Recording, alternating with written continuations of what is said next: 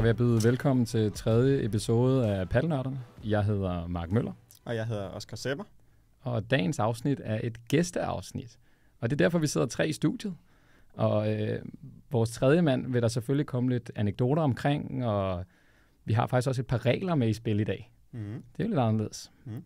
Dagens emne, som vi altid har, når vi har en øh, gæst på besøg, det er udvikling, og især med et elite-mindset. Ja. Og det er derfor, vi har en tidligere og nuværende eliteatlet siddende med ved bordet. Ja.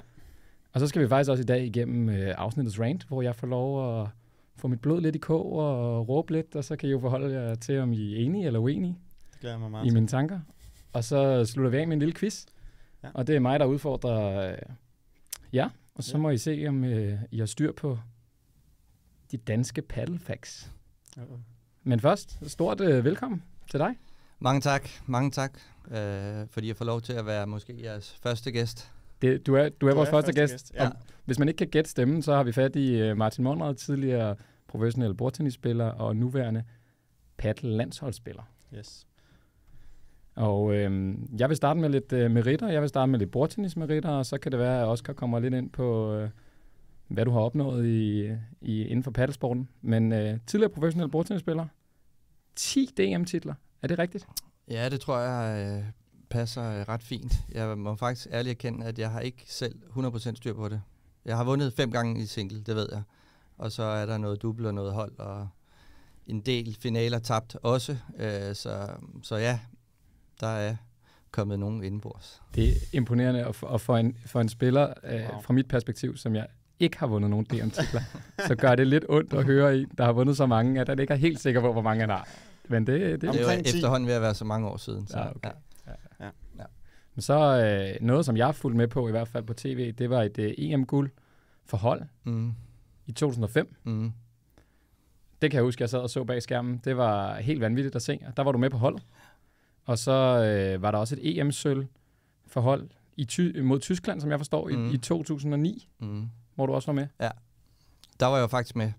I 2005, det var jo faktisk en lidt øh, op og ned oplevelse for mig, fordi der havde jeg været fastmand på landsholdet i mange år. Mm. Og til det mesterskab, der ryger jeg jo på bænken. Og øh, primært øh, i tredje singlen, hvor jeg bliver skubbet ud af Finn, som jo egentlig gør det rigtig godt. Og det bliver jo helt fantastisk.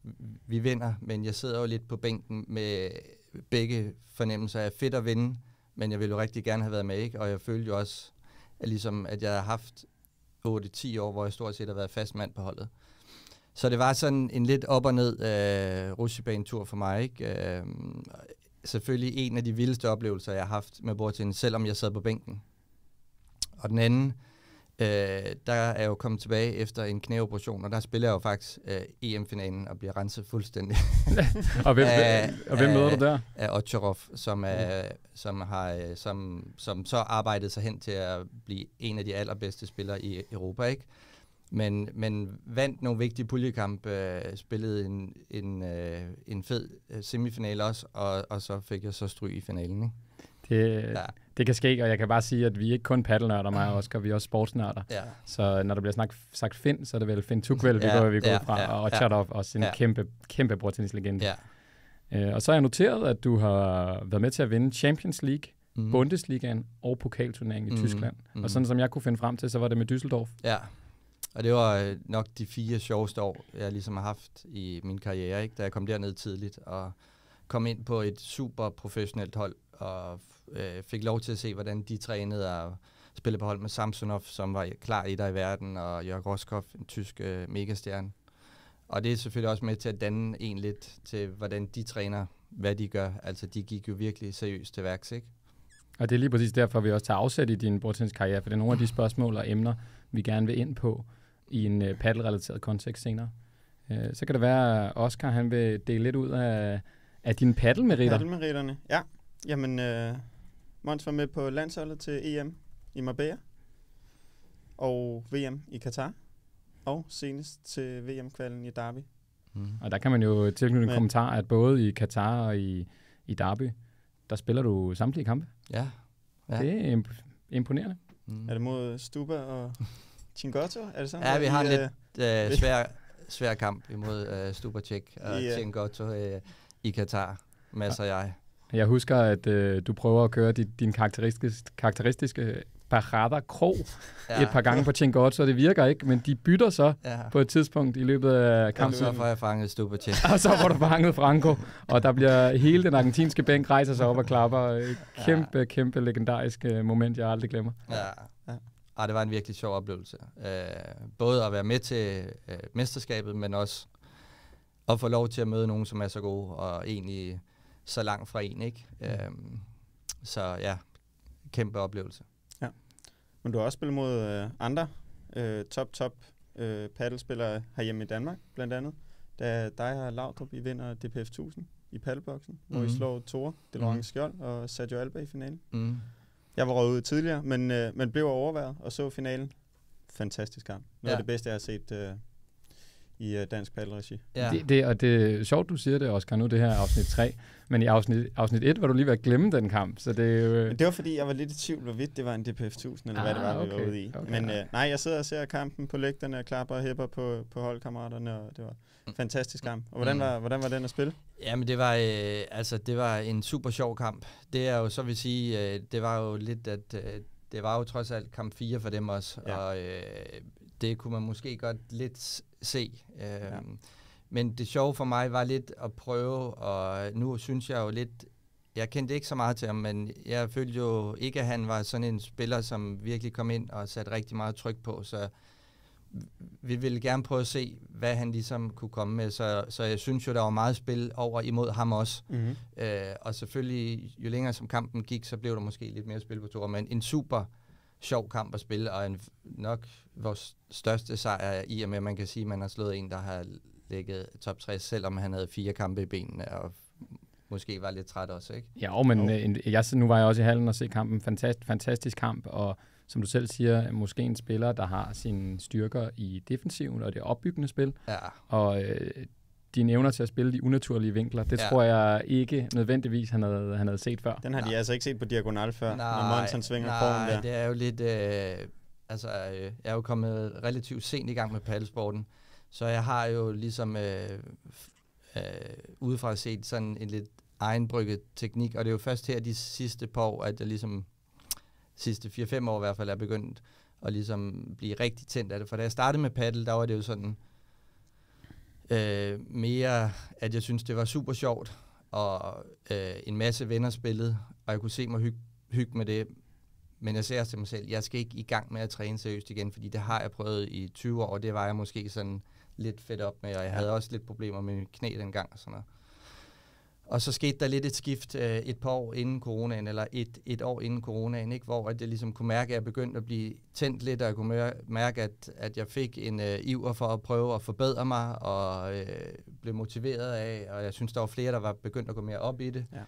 Så på den måde var det, har det ligesom taget en sådan anden drejning, end hvad det var, da jeg startede. Ikke? Men, men når du lærer noget i en sen alder, og du har øh, slået meget til en bordtennisbold, så er det jo klart, at mange af bevægelserne sidder lidt indgroet Ja. i dig. Ikke? Og det er jo nogle af de ting, vi har for bordtennis, det er lidt vinkler, læse spillet, læse modstanderslag, øh, kunne operere lidt med skro, selvom der ikke er så meget, øh, sådan rigtig meget skro, men der er jo noget snit i paddle. Øh, så, så på den måde er det jo nogle gange og ser det lidt autodidakt ud. øh, Jeg, men, jeg glemmer i hvert fald aldrig, da jeg, da jeg spillede første gang mod øh, dig og øh, din øh, tidligere bordtenniskollega Morten Knudsen, og vi står og slår ind, øh, og jeg tænker, det her, det, det er piece of cake. Og så jeg tror jeg, 40 minutter senere, har fået en snitter, 6-2, 6-2, så må man lige reflektere over, at øh, de bordtennisgutter, de kan noget, og det er en sand bordtennis spiller, der siger, at der ikke er så meget spin i paddle. Ja. Det må være, fordi der er rigtig meget spin i bordtennis. Ja. Jamen det er jo mere det der med, i bordtennis kan du lave en sav, hvor at hvis du går virkelig galt af skroen, eller også et angrebsslag, hvis du går galt af skruen, jamen så flyver bolden til den ene eller den anden vej, ikke? Og øh, går du også lidt galt af skruen nogle gange, så lægger du bolden op, og så bliver bolden dræbt. Det er jo sjældent, at du sætter battet på et paddle, og så går bolden bare nedad, fordi du har læst skruen forkert, ikke? Men selvfølgelig er der, også når du kommer op på et højere niveau, begynder at komme mere skro i den, ikke? Skru i forhåndsvoldlinje i hvert fald, Ja. når du sender den afsted, Ja, skulle jeg ja. til sige. Den går, den går nærmest øh, nogle gange lodret, lodret nedad Ja. efter bagvæggen, ikke? Ja. Ja, den bliver bare, den triller ud i, Ja. frem for at hoppe ud. Ja. Jeg fik også kæmpe snitter, første gang jeg mødte Mont. Hvornår var det? Var det, det sammen i Ballerup med, med Gorm, Gorm? Ja. hvor jeg så Shout out til, shout out til Michael Gorm. Ja. Øh, hvor jeg, ligesom dig, tror jeg, tænkte, nå, det var da lidt en sjov teknik. Det kunne man måske godt, det her. Det var så en 6-0-6-1'er, jeg var ude i. Også mod Mons og Knudsen, ikke? Ja. Så øh, ej, yderst effektivt, på trods af, at, øh, at det er lidt hjemmebryg. ja. Nu nævner du også øh, noget omkring, øh, Måns, noget af det, som mange af os måske er fanget i omkring paddle, at vi både har enorm glæde til spillet, men vi samtidig også har en eller anden drivkraft Mm. for at blive bedre og få nogle øh, resultater, og opnå nogle resultater.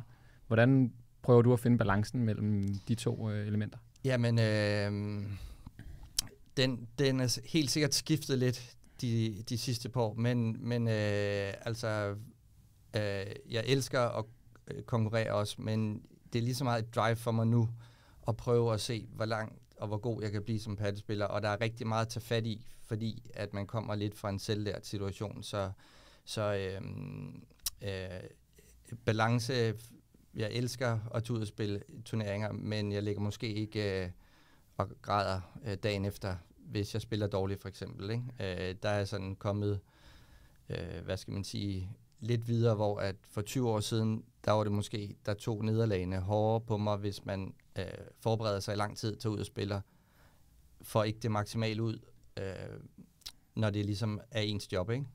Det, det, det giver super god mening, og når du snakker om det her med, at du har tilegner dig nye kompetencer, hvad har du arbejdet med sådan teknisk det sidste år, års tid, og arbejder du med noget lige nu?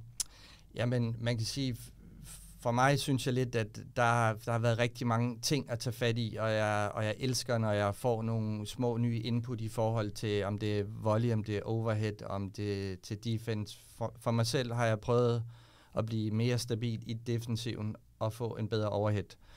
Og måske prøve at blive lidt mere aggressiv, for det har lidt været min, øh, hvad skal man sige, øh, akilleshæl med, at jeg har nogle gange lidt både også måske lidt fysiske øh, mangler i forhold til speed frem og tilbage, men at kunne fylde mere på banen, Mm. øh, og kunne fylde mere ind over midten. Øhm, så for jeg har jo lidt tendens til nogle gange bare at bakke tilbage. Og jeg tror, det kommer lidt af en øh, øh, baggrund for bordtennis, hvor at der stormer du ligesom ikke frem øh, i visse segmenter. Det, det, altså, du bevæger dig meget fra side til side, lidt lille smule tilbage, lille smule frem, ikke? hvor at det der med at tage de store, hurtige skridt langt fremad, charge fremad, spe, specielt også med for eksempel at løbe på smash, som, som jo er, hvis du får smash imod dig, den sidder bare så unaturligt i mig, ikke? hvor at jeg vil hellere gerne prøve at blokke. Og det gælder selv på min... Øh, lidt, det, det gælder Ja, selv på ja. min lidt bløde smash. Ja, ja, selv, selvom, men det er jo også det der med at kunne registrere øh, nogle gange, som, som øh, man kan sige, når jeg føler, at jeg spiller bedst, så er det, når jeg er der 100% i hovedet, og ligesom registrerer, hvad der sker. Hvor at, at det, det øh, er nogle gange, hvis jeg ikke er der 100% i hovedet, jamen så registrerer jeg det alt for sent, og så står jeg bare lidt, og så prøver jeg at blokke, ikke? En ting, som øh, både mig og Oscar har lagt mærke til, når du spiller, det er din evne til at fortsætte med at blive i fokus, selvom du ikke spiller lige så godt, som du måske godt kunne tænke dig. Mm. Har du øh, et specielt mindset eller nogle værktøjer, du gør brug af i, øh, i det tilfælde? Nej, men det er jo meget sjovt, for det har jo ændret sig gevaldigt, fordi at jeg havde slet ikke den samme ro, da jeg spillede bordtennis. Og om, om det er alderen, om, om det er det, at det måske ikke betyder alt for mig i forhold til, øh, at det er en levevej, det, eller om man bare har lært nogle værktøjer til ligesom at prøve at øh, beherske sin indre dialog, øh, indre følelser. Fordi mange gange så er det jo ligesom følelserne, der tager over, fordi man føler, at man skulle have sat den, eller ej, nu sat den anden, nu, nu var de andre øh, lidt heldige med at spille en, en mærkelig bold, eller den bold skal man sætte 100 ud af 100, hvor det så eventuelt koster lidt fokus i næste bold, eller næste bold igen, ikke? Øh, og der tror jeg lidt, altså jeg tror lidt den erfaring, at du har arbejdet, med det i 20 år, øh, tidligere fra bordtenniskarrieren selvfølgelig jo giver noget, hvad, hvad skal man sige, erfaring og sådan noget, ikke? Fordi jeg føler, at jeg er meget mere i balance nu, end hvad jeg var, da jeg spillede bordtennis. Så det er så sådan, jeg hører det, hvis man skal blive helt konkret, så er det det her overordnede mindset og fokus på de ting, du kan kontrollere, og din, din egen udvikling. Ja, Er det det, der ligesom skaber et, øh, et bedre overskud også i de svære perioder? Ja, men altså det er jo lidt det der med at kunne acceptere, ligesom at du spiller dårligt, eller kunne acceptere, at de andre spiller godt, eller kunne øh, registrere, hvad det er, der gør, at du brænder den bold. Ikke i stedet for at blive sur på dig selv, bare fordi du brænder, så ligesom kunne stadigvæk lige hejse dig lidt op for situationen og se, jamen, det er fordi, jeg ikke får bevæget mig ordentligt, eller jeg er for langsom arm, eller jeg tager den for sent, eller for tidligt, eller, eller et eller andet. Ikke? Mm. Hvor det synes jeg måske, at, at, at jeg er blevet en del bedre til. Øhm, og så har jeg selvfølgelig en erfaring med at kunne øh, holde fokus, og kunne fokusere på det, som er vigtigt i en kampsituation, fordi jeg har gjort det så mange gange før i forhold til bordtennis, og stået i mange vanskelige situationer, hvor du har stået som favorit og spillet dårligt og på vej til at tabe, og, eller stået som underdog ved at vinde, eller i en lige match, altså alle mulige forskellige situationer, ikke? Og jeg har selvfølgelig også fejlet rigtig mange gange, altså hvor at man ligesom har sagt, ej, altså hvis bare lige jeg havde slået koldt vand i blodet, altså så kan jeg aldrig tabe den kamp. Men så spiller jeg en, to bold, og så lige pludselig så koster det 5, 6, 7, 8, 9 bold efter, ikke? Men jeg synes, at det er i hvert fald noget, vi, øh, vi øh, beundrer dig meget for, den evne til at blive der noget, som mig og Oscar, vi kigger meget mod og mm. prøver at lære meget af. Og det er jo ikke kun det tekniske, at du står og nørder nogle gange inden træning, om det er smash eller rollo, øh, mm. som jeg synes er helt vildt fedt, når man kigger ned på en mørk bane, bane 3 nede i Racket Club, så står du dernede og står og øver. Det er helt vildt med at se, øh, men det er jo også det fysiske. Ja. Øh, du var en af de første, der startede med at komme i god tid til træning, varme op, og faktisk også ligge og lave øh, øvelser efter. Mm. Er der noget specielt, du gør for at holde kroppen sådan funktionel og kampdygtig? Nej, altså jeg tror, at det der med at komme før tid, det er jo ligesom øh, fra, fra min gamle karriere, der var det ligesom, øh, der var det helt normalt, at man mødtes inden, og man øh, lavede opvarmning, inden man ligesom gik i gang. Og jeg kan også se, nogle af de gange, jeg har været i Spanien, hvor jeg træner med folk, som er meget bedre end mig, de kommer jo direkte, og så tager de deres bat, og så går de ind på banen. Og det er ligesom den, øh, hvad skal man sige, historie, der er i noget af padlen, det tror jeg så kommer til at ændre sig. Mm. Fordi du varmer op, både for at sikre dig, at din krop ligesom er varm, at du ikke får nogen akutte skader fra start, men også for ligesom, nogen er jo begyndt sådan som opvarmning at køre lidt ekstra styrke for lidt fysiske øvelser inden, ikke? for både at blive stærkere, men også at få varmet kroppen op. Ikke? Så, så det er sådan, altså det er jo en forholdsvis lille opvarmning, og det er nogle gange, så er det også måske sådan bare lidt en rutine, jeg godt kan lide at lige være lidt i god tid, være der et kvarter, 20 minutter inden, og så være klar til at komme i gang, ikke? Men det er jo, det er jo sjovt med sådan nogle forskellige ting. Det smitter jo. Ja. Så det smitter af på træningsmiljøet og miljøet omkring, og lige pludselig er du ikke den eneste, der kommer i god tid og varmer lidt op. Nej, nej. Det, det, det er jo også, øh, man sige, spillet udvikler sig, folk bliver bedre, det bliver mere øh, fysisk krævende, så på et eller andet tidspunkt begynder der også, eller er der allerede en resonans i at gøre det, fordi at, at der ligesom kan opstå skader og sådan noget, ikke? Giver mening. Ligger du ind med nogle spørgsmål, øh? Nej, jeg sidder bare sur det hele ind. Sidder sur, jeg er stor, stor, stor fan af Monster, især i forhold til det, vi snakker om med, med mentaliteten. Det, det er noget, jeg har taget fat i der omkring flere gange og haft snak med dig om, og elsker at høre om det, og er dybt, dybt uh, inspireret af det. Ja. Jamen, jeg har en sidste nemlig også, fordi at, uh, de fleste paddelspillere, både som jeg har mødt og beskæftiget mig med, har været igennem en længere periode, hvor de måske ikke har spillet lige så godt, som de gerne vil. Og det er ikke kun i én kamp, men måske over uger, måneder, halve år. Har du været igennem det i din øh, karriere, og hvordan har du taklet det? Jeg har aldrig været. Altid perfekt træf. selvfølgelig har jeg det. Og det, øh, altså, jeg kan ikke beskrive, hvor mange gange, øh, at vi ligesom har spillet rigtig meget, og trænet, spillet rigtig mange kampe øh, til træning, eller bare spillet rigtig meget paddle, og så virkelig kommet hjem og haft den her fornemmelse af, at øh, både motivationsmæssigt, men også sådan spillemæssigt, at det ikke rigtig øh, virker, ikke? Øh, eller at man føler, at man ikke får det ud, som man gerne vil. Og ja, det har jeg selvfølgelig været igennem, ligesom alle andre, rigtig mange gange. Men jeg må også sige, at jeg synes, den er kommet sådan rimelig, eller jeg er kommet rimelig hurtigt over det.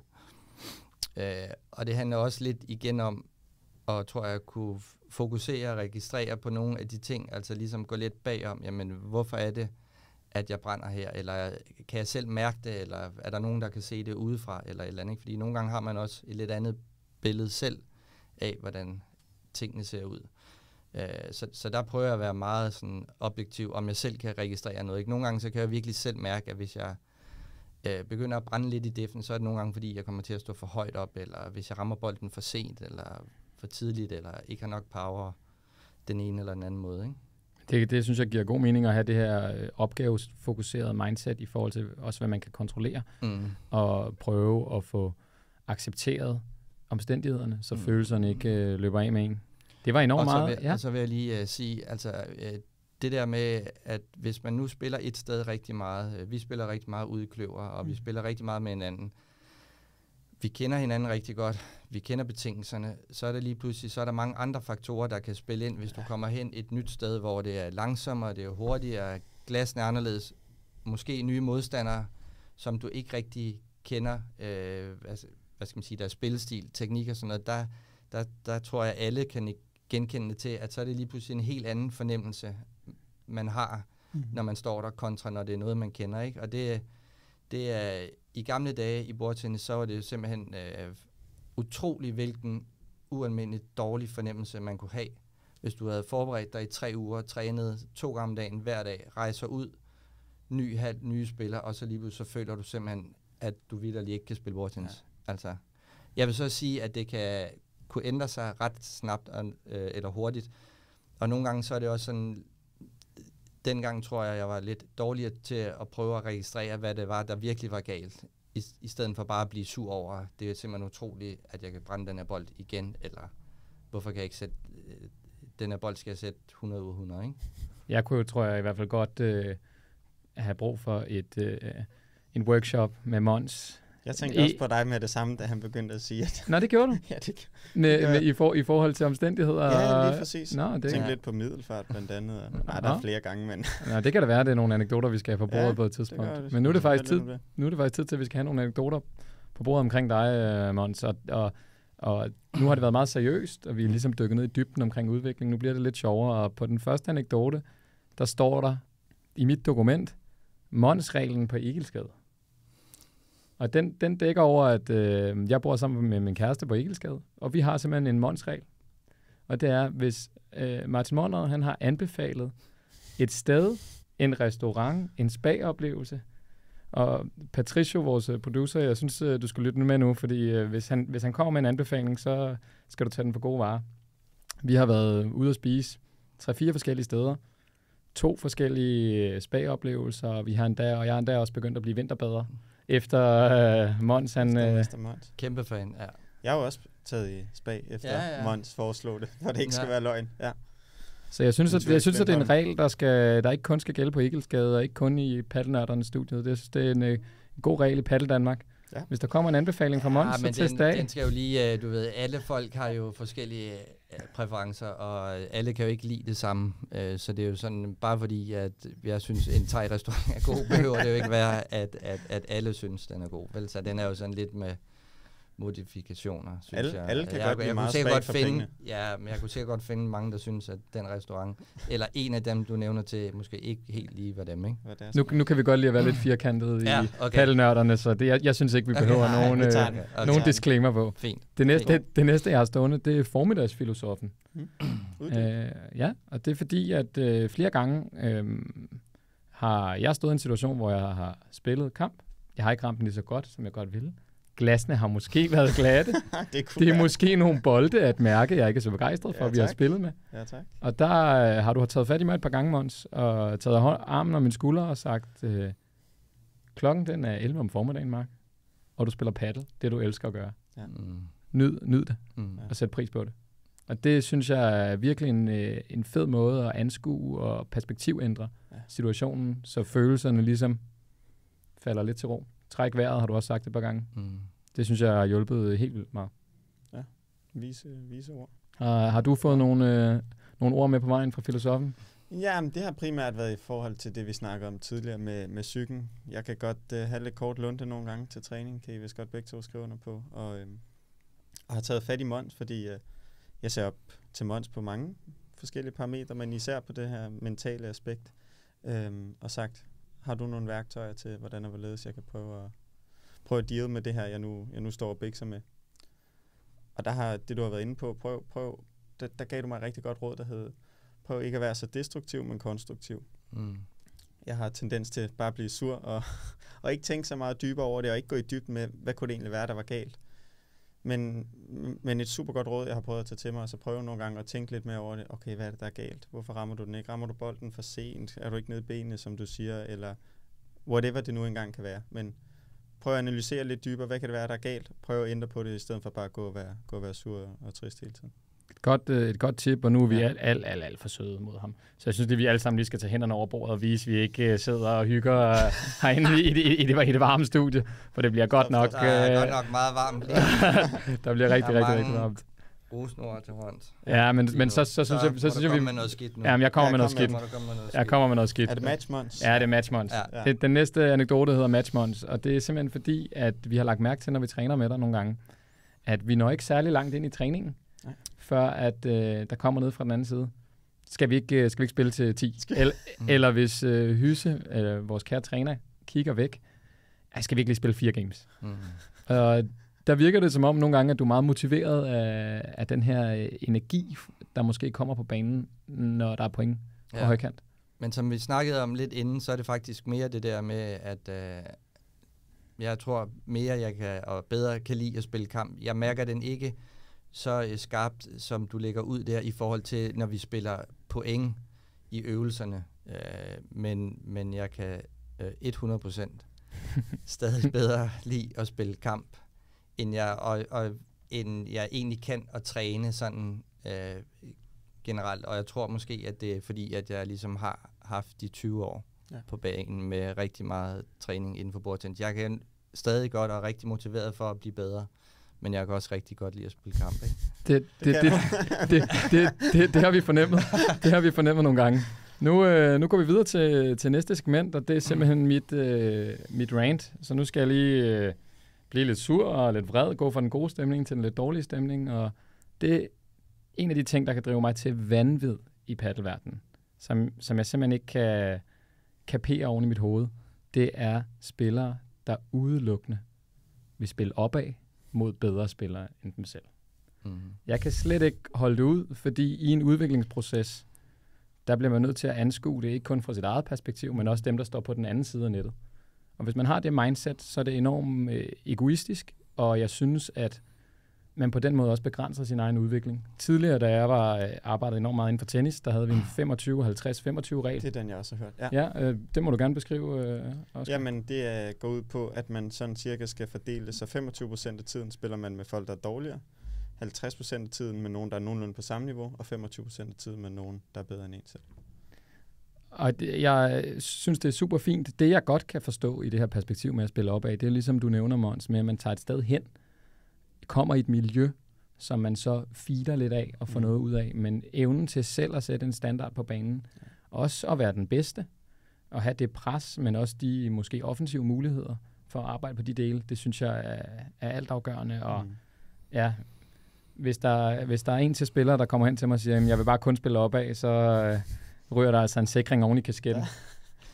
altså, øh, jeg vil jo sige, at øh, øh, det var noget, der øh, har taget mig mange år at lære i bordtennisen, øh, fordi at øh, det der med at spille opad, specielt i bordtennis, hvor at når du spiller opad, så får du ofte rigtig meget mere fart imod dig, og så skal du måske ikke altid skabe så meget fart selv. Spiller du nedad, så er lige pludselig dig, der skal skabe farten selv. Øh, hvilke ikke for alle spillere er det letteste. Øh, så det døde jeg personligt rigtig meget med der, hvor, hvor at jeg ligesom var lidt halvindebrændt, hvis jeg spillede mod dårlige, eller ofte faldt lidt ned rent mentalt i træningen. I paddle er det jo lidt anderledes, også nu fordi folk er begyndt at blive bedre. Så kan de nogle gange, øh, hvis man spiller nedad, og man er tre gode, eller tre øh, lidt mindre øde, og man er bedre end de andre, at så kan man blive isoleret lidt og kunne ligesom acceptere, at det er den træning her, jeg har i dag, hvor at jeg bliver isoleret lidt og træne på nogle andre momenter i spillet, hvilket jo kan være lidt svært at acceptere nogle gange, ikke? Øh. Men som siger, det kan jo være en træning i sig selv. Altså... Ja, men for folk, som ligesom går ud og spiller, fordi at man synes, at det er sjovt, og sådan noget, så kan man jo godt nogle gange forstå, at man bliver lidt uh, frustreret over, hvis det er tilfældet. Ikke at ja. det er tilfælde af, at det er isolationen, der ligesom er problemet, men at man spiller nedad, men der må man jo ligesom, som du siger, nogle gange der får lov til at spille opad, andre gange så må du så være den, som så giver de andre muligheden for at spille lidt opad. Ikke? Der tror jeg det også, det er vigtigt, at man forventningsafstemmer. Det er jo også noget, vi prøver på. Kommer vi til en træning, eller spiller vi en kamp? Det er to Mm. vidt forskellige ting. Mm. Og øh, jeg synes også, der burde være forskel på en- nødvendigvis en træningskamp, og så en pointgivende kamp. Mm. Så det her med, at man, man måske er på samme side øh, i forhold til, mm, hvad er det, vi går ind til, hvad er det, vi træder ind i buret for at gøre, det tror jeg afvæbner mange af de her øh, problematikker. Mm-hmm. Helt sikkert. Øh, det næste, jeg har stående, det er det sidste for øh, dagens afsnit, og der står simpelthen øh, quiz.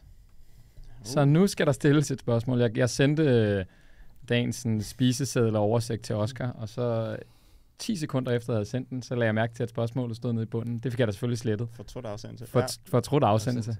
Lige med det samme. Spørgsmålet er, øh, jeg vil rigtig gerne høre de fire sidste vindere i Final Four, Lunar Ligaen. Og jeg vil også gerne have lokation. Hvor blev de spillet, de sidste fire? Jeg skal lige først høre, er, er Mons og jeg sammen i det her?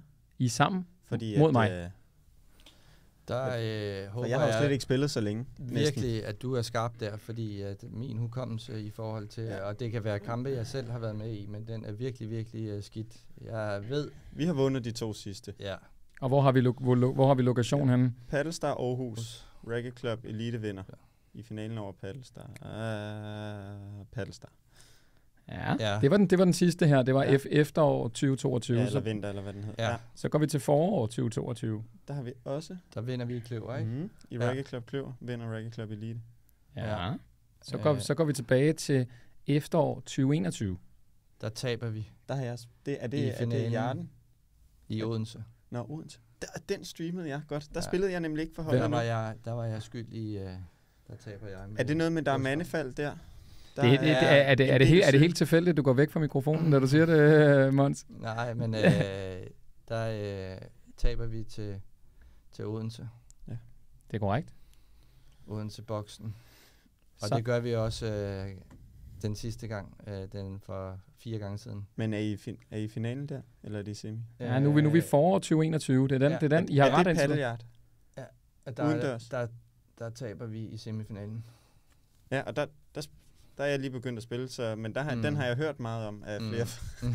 af flere forskellige grunde. Ja, og der vinder Odense også. Det er fuldstændig rigtigt. Vi taber, Reggae Club taber i semifinalen til Ja. ja. Paddleyard, Mm. og det er Odense, der vinder. Mhm. Så fuldstændig korrekt. 2021 forår. Paddleyard bliver den spillet. Vinder paddleboksen. 2021 efterår. Spillet i paddleboksen. Paddleboksen vinder. 2022 forår. Spillet i Reggae Club. Reggae Club Elite vinder. Ja, tak. og den for nyligt overstået. Spillet i Paddlestar. Ja. Og vinder er blandt andet de tre personer, der sidder rundt om bordet. Mm. En, øh, en ting, øh, jeg også øh, har lagt mærke til, det er, at øh, vi har en ny, farlig, venstrehåndet bordtennisspiller på vej i paddelverdenen. Jeg har set dig træne med ham. Jeg har set Gustav, ha- ja. Gustav Hansen, en meget, meget, meget kredsen paddel her. Yes. Øh, vi, en spiller, vi virkelig, virkelig godt kan lide hos paddelnørderne. Han kommer op i receptionen i sidste uge i Racket Club og siger, ham her, han spiller rigtig fedt. Men han var, han var jo helt, han var decideret i chok. Mm. Han sagde vinklerne, sikkerheden, det hele spillet. Det er lige en lidt bedre version af Mons. en lidt yngre version af Monsen. men men øh, ja, Kan du, kan Altså, du øh, sætte lytterne ind i, hvem vi snakker om? Øh, det er jo øh, den legendariske Michael Mays, som øh, også øh, er begyndt at spille noget paddle, og, og har gjort det nogle, nogle år, men ikke spillet øh, rigtig meget, øh, men har en masse fælles venner, øh, som også spiller og hygger sig. Øh, og han er et kæmpe boldtalent, så der er ingen tvivl om, at hvis øh, han ville, og kroppen kunne holde til det, så kunne han blive rigtig, rigtig god til at spille paddle, ikke? Fordi han har, øh, ligesom jeg selv, øh, slået til en mindre bold i 20 år, og mm. Han, øh, han, han er bare et, et rigtig, rigtig stort boldtalent, ikke? Det er Så- i hvert fald, han spiller, han spiller imponerende, og øh, jeg kan se på vores øh, producer, at vi stille og roligt lakker mod enden.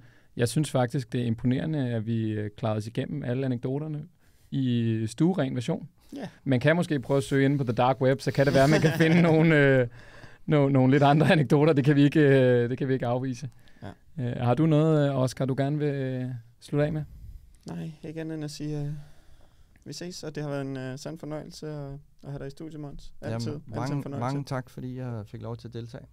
Det var Selvf- sjovt. Selvfølgelig. Det har været en øh, fornøjelse, og husk, at I kan tage fat i os på e-mail info